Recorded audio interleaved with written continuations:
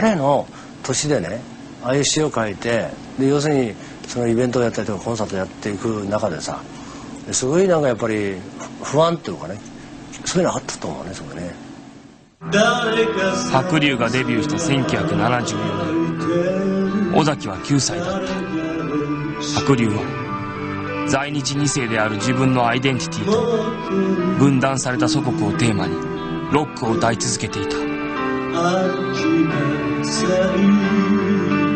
もう今なくなったけど西麻布にレッドシューズってねまあショットバーだったんだけど結構あのブライアン・フェリーが来たらいたりとかかなりまあミュージシャン連中がね飲みに行ったりとかしてたとこだでたまたま僕が行った時にあのチェッカーズの文也君とモズの森山さんなんかがいてね。で尾崎君がそこで一緒に飲んでたんだよね。それで紹介されて一緒にちょっといろんな話をしててそれが初めてだよね。すごくなんか刹那的っていうかねすごくこうあの激しい歌を歌ってんだけど声が透き通って綺麗な声で透明感があって。でなんかねふっとあの彼と話をした時に中原中也のね話をしたんだよね詩人のね。で彼もねなんかすごいやっぱり好きなんだって言ってたし。で中原中也の詩の中でそのすごく晴れ渡った空の青さがねすごく虚しいっていうかね切ないっていうかねその意味がねふっとあのわ分かってる子だなと思ったちょっとなんか危険性というかさ透明感のその切れ方っていうかね。そういうなんかセンスがあったよね、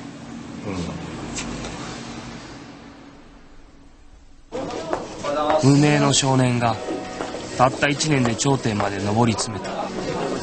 尾崎豊。19歳。尾崎の中で。一つの影が大きくなっていた。その影は武田下宿傲慢で人一倍猜疑心が強かった。この影はもう一人の尾崎豊。俺を信じる奴はついてこい。人々は尾崎の言葉に熱狂した。尾崎豊は神だった。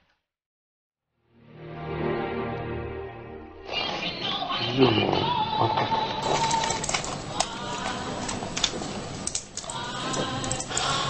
ういう辛い思いをして歌ってるわけなんですよ。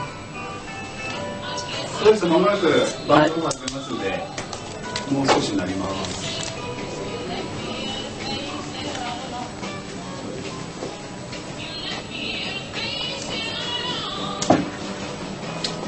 今日ちょっと喉痛いからあんまり大声で歌わないでしょ偶像と生身。人々が求める尾崎豊。素顔の尾崎。そして影尾崎はその狭間で苦しみもがいた。葛藤を繰り返し人に傷つけられ人を傷つけもした。その度にライブパフォーマンスは過激になっていく。俺の歌だ。歌うな。観客さえ尾崎の敵だった。尾崎は孤独感疎外感を強めていた。思春期の心の叫びを歌った尾崎も大人になる。17歳には見えないぐらいしっかりしてるという印象があったんで気を許さないというか。あもう大丈夫かなっていう時は何回かありました。スタインウェイっていうねもういいピアノがあるんですよ。もうすごい高いもうあの上にもう乗って跳ねたり飛んだりするわけですから会場のピアノは貸してくれなくなりました。この男たちが尾崎のライブを支えた。坂本かみさんと、うん、尾崎のシェリーっていう彼女と4人で、えー、下北沢に引っ越した時で手伝ってまあ終わって。いや僕ももうそろそろこういう10代の歌詞が書けなくて二十歳過ぎたらバラバラードみたいな感じでやっていきたいんだっていうのも話してたし歌詞的にはこういうことって書ける時期っていうのはもうそろそろでバラードなりなんなり型の抜いたものを普通にやっていくっていうのをやりたいって言って。俺は本当に理解されているのだろうか。尾崎は生涯この恐怖から逃れられなかった。浴びるほど酒を飲みステージに向かった。そして。新潟のコンサートはお客さんを入れておいてやらなかった。楽屋から出てこなくなっちゃいまして。励ましったりはしたんですけどもあの一言も目も合わなかったし口も聞いてくれませんでした。全国ツアーは中断された。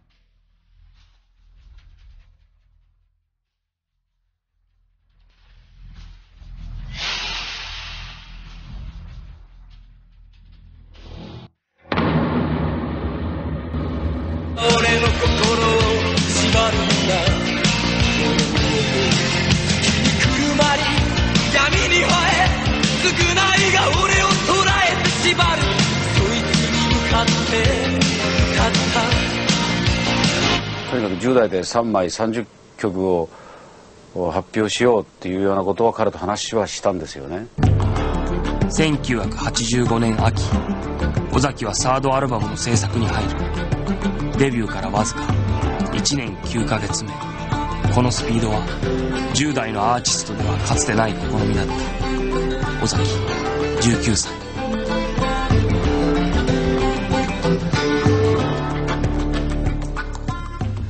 10曲の予定が9曲までしかできなくてとりあえず制作進行がすごく遅れててですねその 9, 曲9曲を録音した時点でもうかなりそのスケジュールがタイトだったんですよ。でなおかつ詩の上がりがすごく遅くてそれでその1曲ずつ歌を入れては次に行くっていうような割と緊迫した感じで全てが進行してたんですよね。何度繰り返しても尾崎の中で詩が一つの形にならないたとえ不満足でもレコーディングしてしまおう須藤はそう提案した。だが尾崎は諦め始めていた。10代で3枚のアルバムを出すなんて意味ないことですよ。そう言い出した。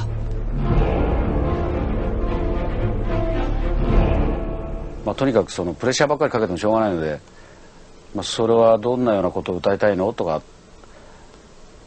そのその曲に込めたい思いとかをスタジオじゃなくてちょっと気分を変えていろいろ話をしたりしたんですけど。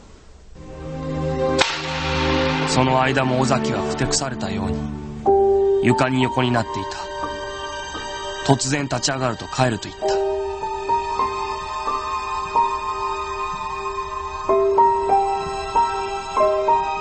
明日の朝には戻ってくること。電話を切らないこと。それを約束に。須藤は尾崎の帰宅を許可した。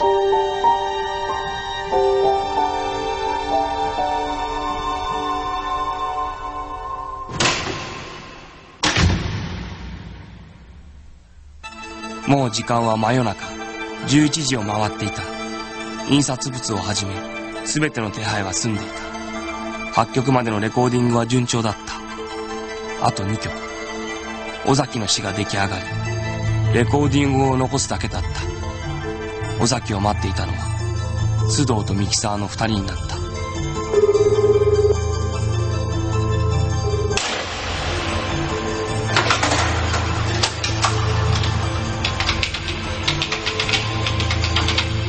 アルバム制作の締め切りは迫っていた。もうそれで戻ってこなかったらもう8曲でいいやなと思ってたんでしょうね。あのどっかのところで諦めてたっていうかただジャケットはもうその究極で印刷されてるしあらゆることはそれで進んでるじゃないですか。うんだからどうしようかなって。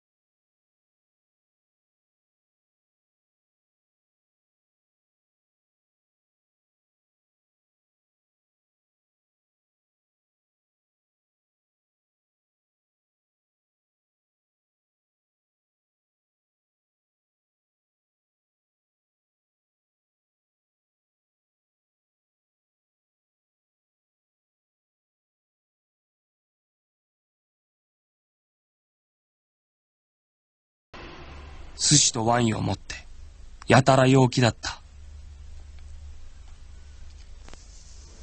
何事かと思いましたけどね。お待たせしましたって来たから多分できないから謝るんだろうなって。それで寿司いわゆるサラリーマンが酔っ払って家に帰る時の口実みたいに折り詰め持ってたからね。これでも食べてって言われたしああと思ったんですけどね。で塩できたのかって聞いたら「はい」って言うから尾崎の表情は晴れ晴れとしていたもう時間はなかった時間がないリハーサルなし、たった一度の本番で全てを歌い尽くさせよう。須藤は思った。時間がない。一発で行こう。尾崎にそう声をかけた。尾崎、10代最後のメッセージだった。でその「フォーゲット・ミー・ノット」も間に合ったんですけど間に合って29曲になったけどでもきっともう一曲書かなきゃいけない曲があったような気はずっとしてましたね。その後も。でもやっぱり10代のうちに30曲書けなかったっていうその一つ足りなかったっていうのは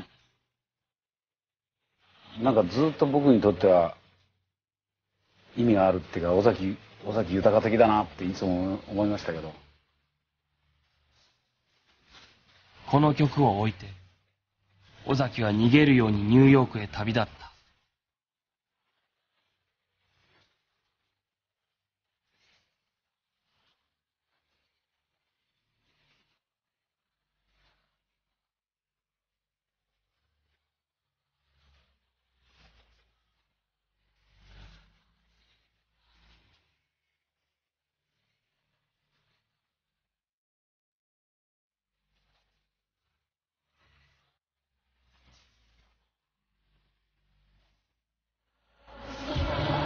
僕の撮影の中では一番嫌な撮影だったね、うん、嫌な撮影っていうかあのそうどう言ったらいいんだろう。なんかギクシャクしちゃうっていうか。なんかこうニューヨークに行くことってのは新しいものを見つけるんじゃなくてなんかどっかニューヨークのフィルターをかぶって帰ってくるようなそれがいい方向に行ったのか悪い方向に行ったのかちょっと僕もよくわからないんですよね。尾崎は逃げるようにニューヨークに渡った。誰も知らないニューヨークでたった一人の尾崎。しかし尾崎の心を蝕むもう一つの影が大きくなった。孤独に耐えかね酒とドラッグの日々だったという。この街も変に行かれてやがる吐き捨てた。唾液すら俺を。見放しやがる。なんだかほんの少し気を緩めると。俺の方がダメになっちまいそうなんだ。どうしようもない現実を噛み締めるしかなかった。